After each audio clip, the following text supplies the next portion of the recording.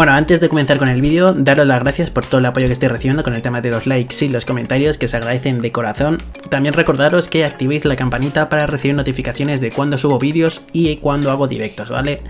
Y luego en la descripción del vídeo tenéis mi canal de Twitch, mis redes sociales, mi canal de Discord, mis grupos de WhatsApp y cómo funciona el tema del sorteo de RPs, ¿vale? Por si a alguno le interesa.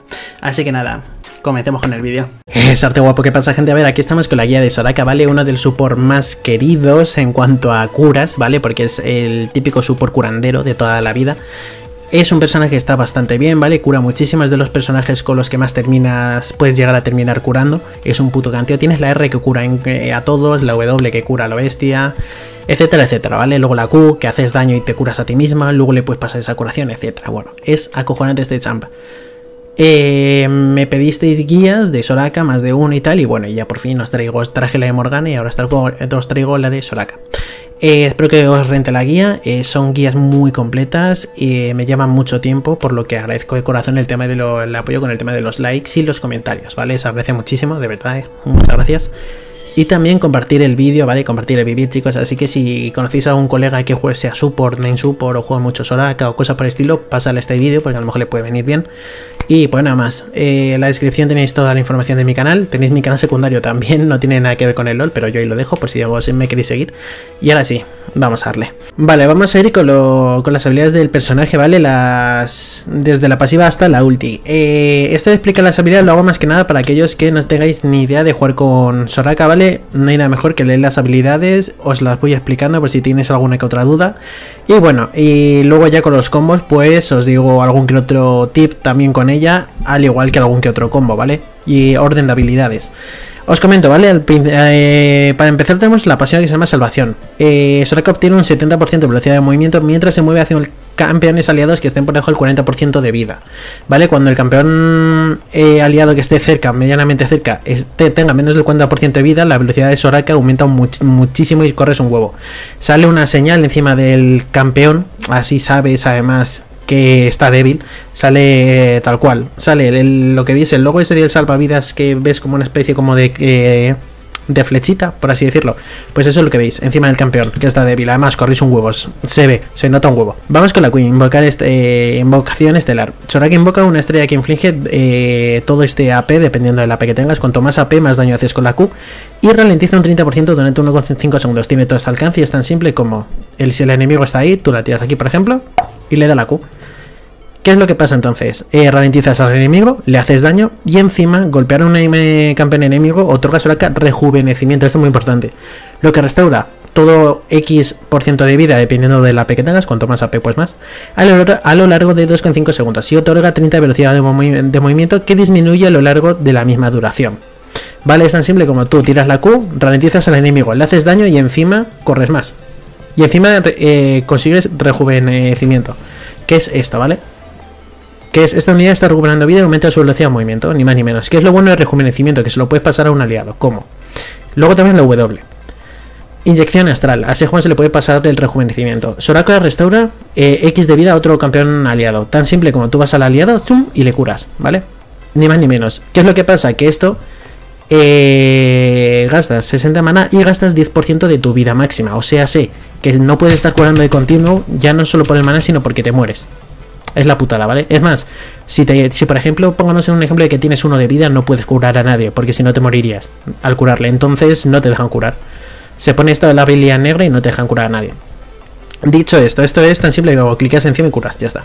El escudo este que veis aquí es porque tengo la runa de Airi, por si acaso. Si Soraka se ve afectada por rejuvenecimiento, lo de la Q, el coste de vida se reduce un 100%, o sea, sé que ya entonces no te cuesta nada de vida, cosa muy importante a tener en cuenta que hay gente que no sé por qué no lo sabe, no sé por qué no le bien la habilidad o... Y el objetivo obtendrá rejuvenecimiento durante 2,5 segundos, ¿vale? Lo bueno es que el coste de vida es que es la hostia, porque entonces gracias al rejuvenecimiento, al darle el rejuvenecimiento a toda persona, no te robas vida. Esto es tan simple como tú das con la cuna enemigo. Y eso que viene, ahora tengo rejuvenecimiento. Dura muy poco, ¿vale? Y en ese entonces, pues corro más y me recupero más. ¿Qué pasa? Que si yo tiro a la Q, me viene el rejuvenecimiento y curo un aliado, le paso el rejuvenecimiento, ¿vale? Y digamos que, mirad, para que lo veáis otra vez, me viene, se lo doy. Yo lo sigo teniendo y él también, como veis aquí, ¿vale? Vas a hacerlo una vez más. Ahí está. Esta unidad está recuperando vida y aumenta su velocidad de movimiento, tanto la tuya como la suya. Y encima, a la hora de usar la propia W, como veis aquí, si tenéis rejuvenecimiento, no te gasta el mana, eso sí, pero no te gasta nada de vida, no te quita vida. Así que intentad curar a poder ser después de la Q. Si no, evidentemente, si veis que el aliado está muy jodido, curarle de una directamente. Luego tenemos la E. Eh, que es la hostia estabilidad. que crea un campo de estrellas que inflige X daño mágico, ¿vale? Dependiendo de cuanto más AP tengas, cuanto más poder de habilidad, más daño haces. El campo permanece durante 1,5 segundos y silencia a los enemigos en su interior. Eh, es tan simple, tú lo pones aquí, ping, y todos los objetivos que estén silenciados. Eh, todos los objetivos que estén dentro se silencian. Silenciar es que no pueden tirar ningún tipo de habilidad ni hostias. Por lo que les cuesta escapar. Sí que es verdad que no sé, andar pueden andar y escapas del círculo. Pero si se quedan un rato aquí dentro del círculo pasa esto. Cuando la zona desaparece, los enemigos situados en ella quedan inmovilizados durante 2 segundos. Y reciben más daño aún. Tú solo con darle con la E ya reciben daño. Y encima, si se quedan ahí un tiempo, reciben otra vez daño gracias a que se cierra el portal. Y encima les, eh, les inmovilizas. No les estuneas como tal, no porque te pueden seguir atacando, pero les dejas quietos. Y entonces es un momento perfecto para, si están quietos, entonces tirar una Q, no fallarla, porque la, va, vas a dar sí o sí, porque el enemigo no se mueve. Das algún que otro básico y tu aliado se aprovecha también para darle hostias. Y vamos a ir ahora con la R, la plegaria, que esa es su definitiva. Gastas 100 de mana, pero que invoca poderes divinos para restaurar mucha vida dependiendo de la AP que tengas, cuanto más AP más curas, eh, a todos los campeones aliados, sin importar la distancia, ¿vale? La curación aumenta eh, a total para los objetivos que estén por debajo del 40% de vida. Con la R curas más a los objetivos que estén por debajo de vida. Así que en una teamfight, cuando tiras una R, ups, se me olvidó quitar las notificaciones. Cuando tú le das a la R y curas a todos a la vez, intentad eh, esperaros, si hay una teamfight y hay uno de vuestros aliados que es el único que está perdiendo vida, espérate a que le quede poca vida, porque entonces así con la R le vas a curar más. Con cuidado, evidentemente, no es que lo mates por hacer gilipollas, que se termine muriendo, pero es que así aprovechas mejor la ulti. Al igual que si hay uno que tiene poca vida y otro que va a tener poca vida en 0, pues a lo mejor te esperas un momento y curas a todos y ya está. Esto funciona para poneros un ejemplo más claro. Vamos a hacer un. Vamos a poner una herramienta práctica aquí, vale. Aquí en top tenemos un aliado. Pues si yo tiro la R, ¿ves? Curo a este y curo a este también. ¿Ves? Cura a todos, tanto a este como a este. Es un canteo la R, la verdad es que es un canteo, ¿vale? Curas a todo el equipo, ni más ni menos. Que tú estás aquí en bot y tal y no sé qué quieres curar a alguien aquí, tiras la R y le curas, ni más ni menos. Estas son las L de Soraka. Con los combos os comentaré un poco más eh, en plan qué tirar y en qué orden y demás. Dicho esto, en cuanto a los summoners, se suele jugar con Flash, siempre con Flash, porque Soraka es un personaje que no tiene desliz y siempre van a intentar matarte, porque tú curas muchísimo y tocas mucho los cojones. Entonces, si te, quites, si te quitan del lado, eh, les jodes a. Digamos que es fácil matar a Soraka dentro que cae porque no aguanta una mierda. Y si la, matan, pues deja de curar tanto. Y entonces ya pues les es más fácil reventar a los demás. Porque una Soraka detrás se, pone ahí a curar y a lo mejor termina. el típico aliado que tiene esta vida le termina curando en 3 segundos la cura entero. Y dices, vale, qué cojones. Así que bueno, eh, te suelen intentar hacer focus. Se suele ir con flash y con barrera para aguantar más. Que te van a joder, que te están matando, te tiras barrera, ping, el escudo y entonces aguantas más. Si ellos tienen mucho CC, hay gente que se pide a limpiar para quitarse limpiar o incluso si tu ADC no tiene un heal, no tiene el curar, entonces te lo pillas tú, te haces te pones flash y te pones el curar. Y si tu aliado, por ejemplo, tiene la barrera, pues entonces perfecto, porque así tu aliado tiene la barrera para aguantar más y si se está a punto de morir, le puedes tirar además de tu cura del W o tu cura de la R, le puedes tirar también el heal para curar a todos tus aliados cercanos. Por lo que digamos que a mí me suele molar mucho jugar con Soraka con flash y heal. Pero bueno, se jugar con barrera para aguantar. Pero eso dependiendo de lo que tenga tu ADC, ¿vale? Y pues nada más, chicos. Y luego, evidentemente, el tema de purificar por el tema del CC. Si te toca a un, a un personaje como Ceres o Pai que te está jodiendo mucho con el CC, pues un purificar te puede salvar la vida, quizá. Y dicho esto, bueno, vamos a ir con los combos. Bueno, vamos con el primer combo de Soraka, ¿vale? Ya sabéis que era E eh, silencia al enemigo. Cuando estás silenciado no puedes tirar ningún tipo de habilidad, ni summoner, ni nada por el estilo. Y la Q, además de hacer daño, eh, eh, ganarte rejuvenecimiento, curarte más, correr más rápido y tal, ralentizas al enemigo. Entonces el combo está en tirar la E y la Q rápidamente porque hay cancelación de animación, tiras la E y la Q y es como que empiezas con la E para silenciar al enemigo, y como está silenciado no, se, no puede hacer una mierda, solo puede salirse del círculo. Y entonces tiras una Q muy rápida, en EQ muy rápido, porque como la Q ralentiza, al estar ralentizado, está mm, más tiempo dentro de la propia E. Y cuanto más tiempo esté dentro de la propia E, más tiempo está silenciado y más le puedes tocar las pelotas con algún básico después uno o dos básicos. Y encima, si consigues que se ralentice tanto como para tardar en salir del círculo, se termina estuneando gracias a, ya sabéis que pasados dos segundos, la E te estunea. Así, bueno, te inmoviliza más bien. Así que viene a ser mm, la hostia, ¿vale? Este combo es el típico combo que se utiliza si, si ves 100% que no vas a fallar ninguna de las dos habilidades. Y se hace muy rápidamente, ¿vale? Es cancelación de animación. En fase en línea se, se utiliza bastante. Este es otro combo con un Soraka que se utiliza mucho en fase líneas, que es como la E, eh, digamos que son cancelaciones de animaciones, ¿vale? Tú puedes hacer, dar un básico antes, es más, incluso os aconsejo en fase líneas que antes de tirar una Q, si podéis, intentéis dar un básico, una banana, como se le dice, ¿vale? Porque es solo una lo que lanza, pero hacen bananas. Entonces, eh, lanzas un básico y mientras haga la animación del propio básico, tiras una Q. Y es como que lo hace todo muy rápido y el básico se lo das de gratis. Eh, como mucho, yo que sé, pierdes unas milésimas de segundo, que no pasa nada, por encima es como un básico de gratis, así que perfecto. Y se suele tirar primero la, la E, evidentemente para silenciar al enemigo. Y más si está mal posicionado, te viene de puta madre, porque encima luego si eso hasta le llegas a stunear y entonces haces básico Q y luego ya otro básico que suele salir casi de gratis. Pero es sobre todo antes de tirar una Q, lanzar un básico, ¿vale? Así pokeáis más al enemigo es cancelación de animación. Bueno, este otro combo ya lo vimos, es el silencio y la Q para hacer cancelación de animación, pero en vez de dar un básico, das dos básicos aprovechando el rejuvenecimiento. Ya sabéis que con el rejuvenecimiento tenéis más velocidad de movimiento, encima de que te vas curando un poco más. Así que, ¿qué es lo bueno de eso? Que te puedes aprovechar esa velocidad de movimiento para dar algún que otro básico a la hora de posicionarte. Te vas posicionando y das un básico de más, ¿vale? Ya sabéis que el combo era EQ y luego un básico, pues como el enemigo se queda inmovilizado gracias a la E y tú tienes velocidad de movimiento, puedes posicionarte y darle un básico más de gratis, ¿vale? Es otro trade que se suele hacer en early game, pero tampoco es que sea aquí tal, ¿vale? Es muy parecido al primer combo que os comenté. Vale, este otro combo es muy importante porque es eh, con Soraka se suele pillar el objeto de redención, ¿vale? El, símbolo de redención sé que lo cambiaron, ¿vale? Porque con los nuevos ítems no es el mismo, no es ese símbolo, pero bueno, la redención viene a ser lo mismo, ¿vale? El objeto de redención que luego os comento aún así, pero bueno, lo que hace es creas un área, ¿vale? Tiene muchísimo alcance, ves, desde bot hasta lo puede, puede llegar casi a mid. Tiene mucho alcance y lo que hace es genera un círculo, ¿vale? Ese círculo crea un rayo de luz y al cabo de X segundos, ¿ves? Cuando se va cerrando el. Se, crea en un área y un círculo se va cerrando, como veis ahora, ¿ves? Cuando llega justo al máximo, cae el haz de luz y curas a todos los aliados que están dentro. Además de curar a todos los que están dentro, en cuanto a aliados, haces daño a todos los enemigos que estén dentro. Así que en una teamfight eh, la redención es muy importante. Esto es más que nada porque la gente, tú cuando tiras redención, la gente dice, vale, se van a curar. Entonces, ¿qué pasa? Que el redención justo cae el rayo, curas a tus aliados y justo cuando cae el rayo tiras tu ulti. Y es como si fuera una doble curación y los enemigos no se suelen esperar que de una maldita redención te cure tanto. Y no es que sea solo la redención, sino que has tirado también la ulti, ¿vale? Es una especie como de engaño, por así decirlo, ¿vale? La gente se cree que tira redención y dicen, aún así aunque le curen un poco tampoco va a notarse.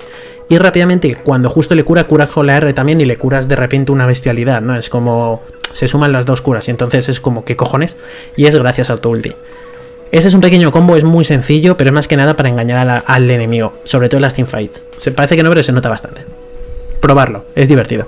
Vale, este otro combo es muy importante con Soraka porque es para eh, que aprendáis a que se puede cancelar la animación de la propia E junto con el flash. Ya sabéis que Soraka cuando tira la E se queda como un momento quieta y hace así con la mano, ¿vale? En el suelo o con, bueno, con el báculo hace así y tira el tema del silencio tarda un poco en hacerlo. Bueno, no, no, es con la Q usa el báculo y con la E la mano, no. Creo que sí. Bueno, total, que justo cuando hace la animación de la propia E, si tiras el flash, la animación la cancelas. ¿Veis que sale como una barra azul? Que es eso, a eso se le llama canalizado, justamente ahí, esa barra azul. Con la Q y con la E sale. ¿Qué pasa? Que al tirar la E, lo que vas a hacer es QE y al tirar la E, mientras la barra justo se esté llenando, haces flash. Y entonces cancelas la animación, pero la E se hace. ¿Vale? Entonces ganas unas milésimas de segundo. Esto se suele utilizar sobre todo para escapar. Cuando te están siguiendo, pues tiras las dos cosas y después del flash el rejuvenecimiento te llega y corres un huevo más. Entonces a lo mejor hasta te pueden no llegar a matarte y gracias a ese silencio pues yo que sé, ayudar mucho a tus aliados. Porque como os dije, que es un caramelito y van a ir a por ti a tope. Así que este combo tenerlo muy en cuenta. Practicarlo en la herramienta de prácticas, el de QE Flash, en plan muy rápidamente Y entonces, pues, sobre todo también se utiliza para posicionarte. En vez de tirarlo hacia abajo, tirarlo hacia las hierbas. Haces el combo y haces el flash en las hierbas. Te metes en las hierbas, pierden la visión de ti y el rejuvenecimiento te va hacia ti. Y mientras estás en las hierbas, pues el enemigo tiene que entrar porque no te ve, no te puede golpear. Y en ese entonces ya te ha llegado el rejuvenecimiento, corres mucho y te vas curando. ¿Vale? Es un pequeño consejo con Soraka. Este combo, eh, os lo comento más que nada, se suele utilizar porque a muchos nos ha pasado cuando Soraka intenta llegar rápido a una teamfight y no sé si os habrá pasado, bueno, a todo, yo creo que a todo el mundo con Soraka. Y estás llegando, estás llegando y dices, voy a llegar, te voy a curar, espérate que estoy llegando, me queda nada. Y ves al tipo aliado que se está muriendo y no puedes hacer nada. Y tienes la ulti. Puedes tirar la ulti, pero intentar trolear con la ulti, porque el enemigo nunca se espera una buena, buena R de Soraka. Nunca se espera la R de Soraka, no sé que esté muy, muy, muy atento. Pero es complicado, porque cuando estás a punto de matar a un enemigo, esa adrenalina que te nace de, mmm, va a morir, jódete. Pues entonces no te esperas esas juraciones de Soraka de, la nada, porque a lo mejor ahí ni está. Pero esto es más que nada en las teamfights, por ejemplo, llegas en el momento preciso, en el momento justo, un poco tarde pero justo, y entonces haces la R y cancela la animación de la propia R, porque la R también tiene. se queda Soraka como un segundito así parada y hace piu y cura todo. Pues entonces la puedes hacer cancelación de animación en el flash. Tiras la R flash y luego ya la E para silenciar, porque el silencio es muy importante, y luego ya la Q. Y luego, una vez ya tienes la Q, tú corres más, te regeneras vida, das algún básico si quieres entre medias, y le pasas la W. Bueno, curas un aliado con la W y le pasas el rejuvenecimiento también, ¿vale? Ni más ni menos. Y así él corre más y se cura también más. Ni más ni menos. Es un combo bastante fácil, pero es también para que sepáis que hay cancelación de animación por parte de la R junto con el flash, ¿vale? Digamos que lo hace bastante rápido y luego ya pues tiras el silencio. Esto más que nada para. No, hace, no haces una especie de engage, no comienzas una teamfight, pero en medio de una teamfight, en el momento justo en el que a lo mejor ves que tres enemigos se juntan, dices momento perfecto para hacer flash, ¿eh? silenciar a los tres, darle con la cual a los tres y joderles más en la, en la teamfight. Pues eh, cosas de esas, eh, digamos que son reflejos, ¿no? Tienes que estar muy atento. Pero bueno, este es un pequeño combo, ¿vale? Para que lo sepáis. Es un poco complicado a lo mejor.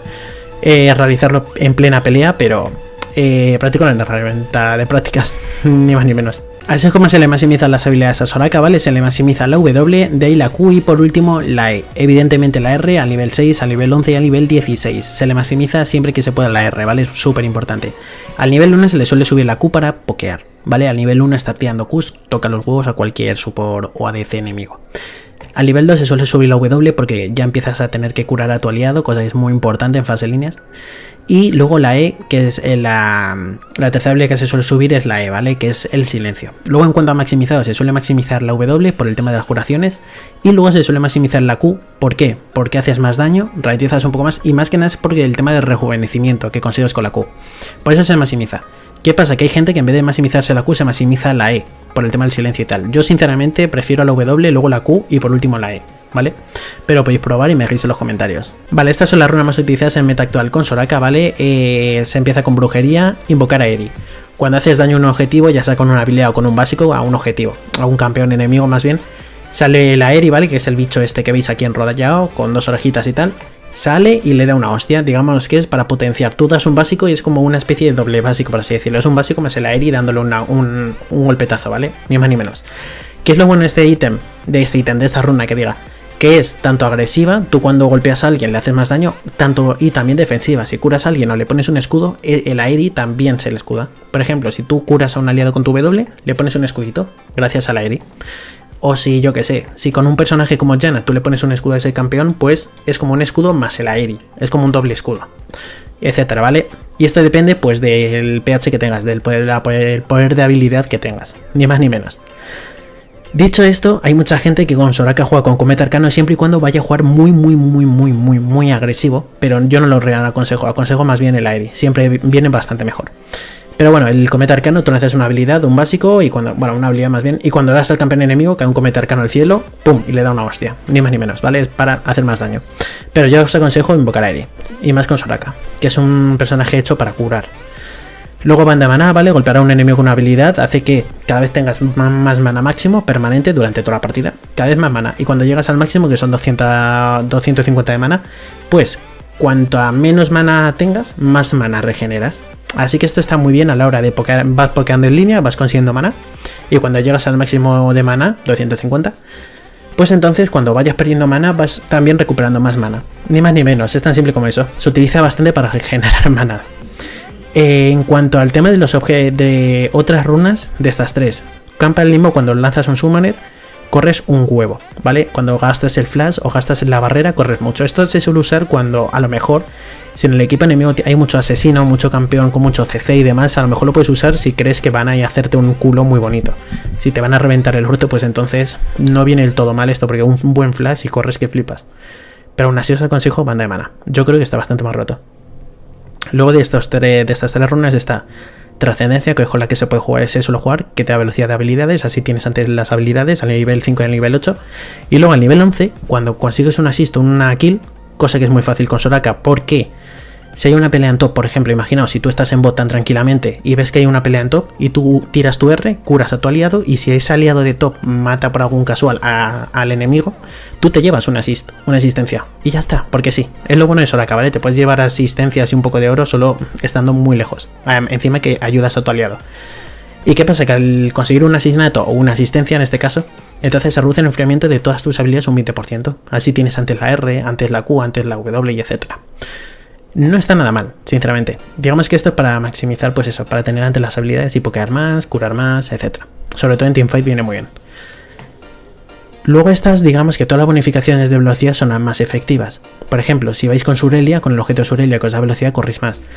La pasiva de Soraka, cuando un aliado tuyo esté muy débil, pues corres mucho más aún. Porque esto es como que todas las bonificaciones de velocidad de movimiento se, eh, son más grandes, son más efectivas. Con esto para correr más. Yo sinceramente prefiero trascendencia. Y luego esta es más que nada por si en la línea crees que vas a ganar 100 por puto 100 y le vas a reventar el orto al enemigo. Que entonces es cuando tiene esta es al 70% de vida, obtienes mucho más daño. ¿Qué pasa? Es que al usar una W pierde su daño, su vida. Entonces es muy fácil tener siempre un poco menos del 70% de vida. Por lo que esta habilidad es siempre y cuando creas que vas a pokear mucho y no te van a hacer daño. Entonces, sí, sí, no, sinceramente, 100% está, 100%. Y luego de estas tres está Piro Láser, ¿vale? Que esta es para pokear en línea, lanzas una habilidad que más al enemigo, ni más ni menos. Así, digamos que cuando le das, le das mm, pues un poco más fuerte. Porque quemas al enemigo y lo vas haciendo un poco de daño. Y luego están estas, ¿vale? Que es avecina tormenta. Cuanto más avanza la partida, más daño haces, más poder de habilidad tienes. Y entonces más curas, más daño haces, etcétera. Yo sinceramente suelo pillarme Piro Láser porque Soraya es un personaje que tira muchas Qs, está pokeando de continuo. Cada 10 segundos mínimo tira una Q casi seguro. Entonces eso hace que puedas pokear mucho con ese personaje y al quemarle pues le pokeas mejor aún. Pero si vas a jugar muy pussy, muy defensivamente, pues te aconsejo esa vecina tormenta porque así en late game tienes muchísima más, muchísima más poder de habilidad. Y luego las secundarias. Por una parte tenemos estas de aquí, ¿vale? Se suele jugar con revestimiento de huesos. Cuando un campeón enemigo te hace te da sus siguientes tres hechizos o básicos te hacen menos daño, para aguantar más. Y revitalizar tus curaciones y escudos son más potentes. La curación de la última es potente, tu curación de la W es más potente, el escudo de la Airi, por ejemplo, es más potente, la curación de redención del objeto que comenté antes también es más potente, etc. Esta runa para mí con Solaka es importantísima. Rejuvenecimiento también es más potente, ¿vale? Porque te cura más. Para mí esta, esta habilidad es lo mejor. Con esta habilidad, esta runa, es la más importante. Luego, en vez de revestimiento de huesos hay gente que se pilla esta, que es tras recibir daño a un campeón enemigo te curas dependiendo de la vida máxima. Luego hay otra gente que se pilla esta de aquí, que es cuando le reduce la movilidad a un enemigo con la Q, cosa que es muy fácil. Marcas a ese enemigo y entonces tu aliado, si es muy agresivo, cuando golpea a ese, a ese enemigo, se cura. Yo sinceramente prefiero esta y esta. Esta para aguantar porque Soraka necesita aguantar. Y esta porque es que toda curación aumenta. Y Soraka es, es pura curación. De la Q cura. La W cura. La ulti cura. Todo cura, tío. Así que yo sinceramente prefiero revitalizar 100%.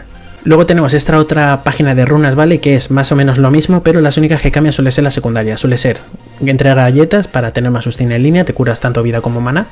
De manera que es gratis, ¿vale? Te dan tres galletitas, así que entre tus dos potis y las tres galletas aguantas mucho más. Y luego, perspicacia cósmica, si tienes antes el flash, los hechizos y invocador, como el flash, el prender o la barrera, lo que lleves, o el purificar y la velocidad de objetos. La redención, por ejemplo, o el Zonias, que son objetos que a veces se pilla con Soraka, pues las tienes antes, al igual que el Surelia, por ejemplo, si es que vas con Surelia, etcétera, etcétera. Y otra cosa que nos dije es, en la chiquitita siempre se va con fuerza estable, fuerza estable y armadura. Si eh, te ha tocado contra un brazo o contra mucho AP en el otro equipo, pues píllate resistencia mágica. Si no, se suele pillar eh, poder de habilidad, poder de habilidad y armadura. Y esta sería la otra página de runas totalmente diferente, que es, en vez de la brujería, empieza con las de valor. Te pones el protector, ¿vale? Que protege a los aliados cuando te dan una hostia. Es como si te dan una hostia, estás eh, al lado de un aliado, te escudas a ti y le escudas a él. Ese escudo os puede dar la vida. Esto se suele utilizar sobre todo cuando el enemigo es muy agresivo. Si te toca un Brand que va a estar pokeando mucho, quizás el protector no viene del todo mal. Porque luego tenéis fuente de vida que lo expliqué, esta que lo expliqué que es para aguantar más, y luego esta que es contra el CC. Te da tenacidad y te da más resistencia a la, a la ralentización. La tenacidad lo que ya de por sí te da es más resistencia a la ralentización y luego resistencia al stun, silencio, ceguera, cambio de forma, etcétera, etcétera. Todo tipo de CC. Más lo de la ralentización. Por lo que esta runa está muy bien si el enemigo, si el que en el equipo enemigo tiene mucho CC, un 3, luego yo que sé, una Alice Jungla, cosas que te, te, puedan parar y te puedan reventar en 0, cosas por el estilo. Entonces esta no está del todo mal, ¿vale? Contra todo tipo de CC. Y luego en la secundaria sí se suele, brillar banda de mana, porque lo del mana es muy importante con Soraka, porque Soraka en cuando tiras tres habilidades miras el mana y dices, hostias, me he gastado mucho mana. Con esto al final tienes mucho mana y pirolase para pokear. Pero en esta estamos en la misma, os podéis, o podéis cambiarlas si quieres tener ante las habilidades, si quieres eh, jugar más para late game, cuanto más avance la partida más daño hacer y más curar y eso. Si crees que apenas te van a tocar, pues te puedes pillar esta para hacer más daño y demás y curar incluso un poco más. Pero vamos, aún así, estas son otras páginas de runas que se suele pillar con Soraka. Pero de una, con una Soraka un poco más defensiva. Vale, vamos a hablar con los objetos de Soraka eh, como support, ¿vale? Evidentemente se empieza con eh, la daga hechicero, es la el típico ítem de support cuando eres AP. Soraka es AP, así que el, el que mejor le viene. Hay gente que se llega a pillar a lo mejor el escudo de reliquia, porque también te da habilidad y tal, y te da vida. Esto es más que nada por si a lo mejor en línea te toca con un personaje que crees que va a jugar muy agresivo y te va a joder mucho. Pero aún así yo prefiero Daga Hechicero porque con Qs es fácil eh, pokear porque tiene mucho rango, y si pokeas encima te llevas oro. Con básicos o con Qs te vas llevando oro, 20 oro, 20 oro, y parece una tontería, pero luego se agradece muchísimo, porque a lo mejor vuelves a base con mazo de oro. Luego te pillas dos potis y el guardián invisible, el, el lugar amarillo. Como siempre digo en estas guías de support, sobre todo, mucha gente me dice, ¿cuándo cambio el lente del oráculo amarillo, el war invisible, el amarillo, al rojo? ¿Cuándo lo hago? Se suele hacer cuando ya consigues la misión del ítem de support que es gana 500 de oro con este objeto para que se transforme en colmillo de escarcha y con colmillo de escarcha puedes poner wards. Cuando ya tengas esa misión de poner wards con este ítem, con el de support, es cuando se suele eh, mejorar al lente del oráculo, ¿vale? El guardia amarillo al rojo. Y luego eh, os pongo ping, guardián de control, siempre, ¿vale? Y no es solo cosa del support, lo pongo en todas las guías y siempre con lo mismo. Da igual que seáis top, mid, junglas, ADCs o support, me la suda. Pillas un puto ping. Por el simple hecho de que eh, solo puede poner un aliado, solo puede poner uno. Pero sois cinco en el equipo. Si los cinco ponéis cinco pings, es mucha visión para el equipo y es algo agradecer. Se agradece muchísimo. Así que lo he dicho, ¿vale? Los pings son muy importantes en cualquier línea. Dicho esto, vamos con los objetos principales. Se suele pillar las botas de jonias de lucidez, ¿vale? ¿Por qué? Porque te da velocidad de habilidad, así tienes antes la habilidades, la cura, W y demás, y encima te da velocidad de hechizo de invocador, así tienes antes el flash, o la barrera, o el prender, o el, o el purificar, dependiendo de con lo que vayas. Bueno, purificar o limpiar. Se llama purificar, ¿no? No sé, da igual. Total, lo de quitarte CCs. Dicho esto, el ítem que se suele pillar con Soraka mítico suele ser renovación de piedra lunar. Además de todo esto que te da, al afectar a un campeón con ataques o habilidades en combate, cosa que es muy fácil, curas a un aliado que esté cerca. Es perfecto con Soraka, porque entonces curas con la W, curas con la R y encima curas con un objeto y sin querer. Golpeas a un enemigo y ya curas a un aliado que está al lado. Se agradece mucho, ¿vale? Es un plus de curación, que es el pollo bendito. Dicho esto, hay otros dos objetos que, con los que puedes jugar con Soraka yendo support que en cuanto a míticos, ¿vale? Por una parte tenemos el Sureria que da lo mismo, pero a la hora de activar este ítem, tú y tus aliados corréis mucho más. ¿Y qué es lo mejor? Durante 4 segundos y los eh, campeones obtienen 35-55 de daño mágico adicional en los siguientes 3 ataques o habilidades. Esto suele ser cuando el equipo, una, va muy bien, y dos, cuando tenéis muy, una buena composición de equipo para hacer engage, para comenzar teamfights o cosas por el estilo. Entonces tú activas esto, le das velocidad de movimiento a todo tu equipo y todo tu equipo tiene mucho más daño durante un momento. Digamos que para campeones con mucho burst viene muy bien, porque les das mucho burst a todos. Y entonces pillan a uno, ¡prum! reventado. Y entonces ya, en una teamfight, si os quitáis a uno de encima, se suele hacer más fácil, porque es 5 contra 4 entonces. Dicho esto, hay otro ítem mítico, ¿vale? Que es mandato imperial. ¿Qué pasa con este ítem? Te da lo mismo y tal, pero este es para jugar muy agresivo. Esto es si vas con una Soraka, yo muchas veces lo uso, pero por echarme las risas. Pero con Soraka os aconsejo esta. Pero el mandato imperial lo que hace es, habilidades que ralentizan o inmovilizan, la E o la propia Q, que la Q la tienes todo el puto rato, marcan al enemigo, ¿vale? Durante 4 segundos. Que lo bueno, el daño de los campeones aliados, que eh, al detonar la marca, hace que inflijan mucho más daño y encima terminéis corriendo más, tanto tú como tu aliado, al romper esa marca. Por eso mismo, eh, este, este objeto está hecho 100% para jugar muy agresivo.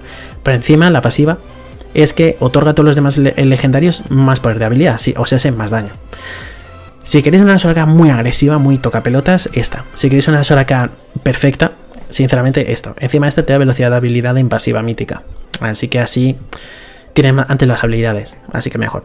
Y esta te da velocidad de movimiento. Eh, yo sinceramente prefiero esta con Soraka siempre. Pero bueno, si que juegas con una Soraka muy agresiva, si estás jugando una normal y te quieres echar la risa y tal, esto es muy, es muy gracioso. Y más si vas con una ADC que es muy agresivo. como vayas con un Twitch, por ejemplo, gracias a Manda Tip Imperial con el... Buah, le revienta su Lucian o cosa por el estilo.